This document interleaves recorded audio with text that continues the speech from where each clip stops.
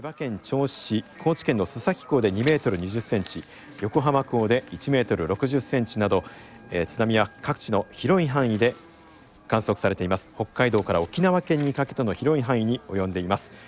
現在、北海道から静岡県にかけての太平洋沿岸、和歌山県、徳島県の沿岸、伊豆諸島と小笠原諸島に大津波警報が出ています。さらに東京湾から沖縄県の宮古島八重山地方にかけての広い範囲には津波警報を発表しています。予想される津波の高さは大津波警報が出ている沿岸の高いところでは10メートル以上。津波警報が出ている沿岸も高いところで2メートルの見込みです。津波は場所によってはさらに数倍の高さになり今後も繰り返し何度も押し寄せます。海岸や川の河口付近海に近い川沿いにいる方はできるだけ高いところに避難して警報が出ている間は絶対に戻らないでください。海岸などに様子を見に行くのは大変危険ですので絶対にやめてください。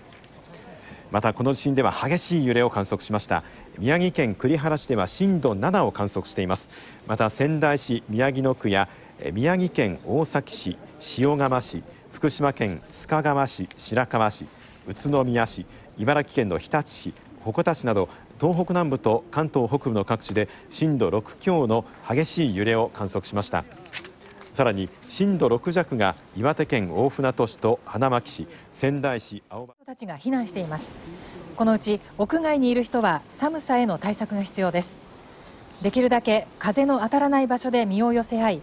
毛布など寒さをしのぐものが身近にない場合は新聞紙などで代用することができます。揺れが強かった地域では強い余震の恐れがあるため寒さ対策や明かりを確保するために火を使うのは危険です。火を使うのは大変危険です。